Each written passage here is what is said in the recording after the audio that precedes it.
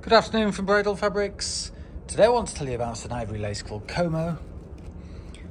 It's a simple but very classy concept. The base is an ivory tulle and it's been embroidered with this rope or twisted rope type of thread and then embellished with a smattering of clear colour sequins.